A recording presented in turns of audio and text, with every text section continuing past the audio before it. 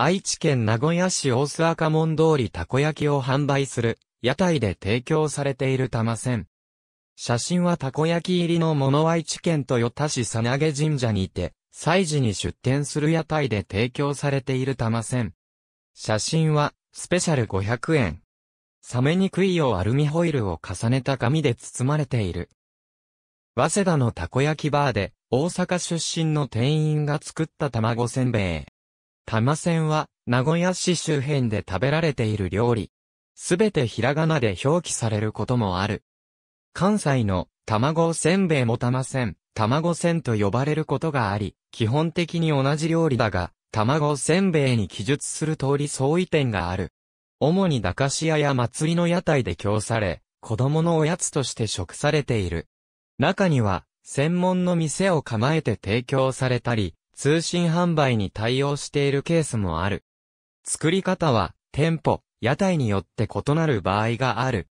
牡蠣は、スペシャルの場合トッピングは店によっては提供されない場合もあるが、チーズ、ベーコン、ソース焼きそば、たこ焼きなどがある。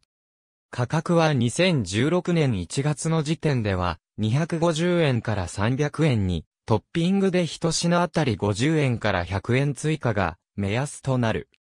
関西名物とも言われる卵せんべいは、名古屋市周辺の玉せんと次の点で異なる。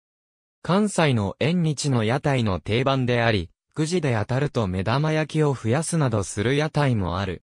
関東では稀だが、タコせんを提供する、たこ焼き屋は同じ、エビせんべいを仕入れているため、作ってもらえることがある。浅草鳥の市や、三社祭りで長谷川らが2012年から2014年の間に屋台を設けたことがある。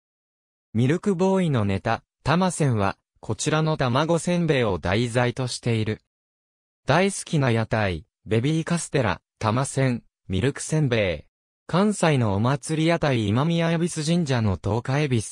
いろはまや。Https コロンスラッシュスラッシュ www.youtube.com スラッシュウォッチ v コール 0K1 リットルニクピット8 2020年12月5日閲覧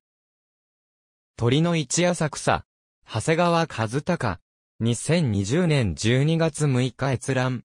ミルクボーイの漫才玉線ミルクボーイ公式チャンネル https://www.youtube.com スラッシュウォッチ v コールリップスフ 4HQP58 2020年12月3日閲覧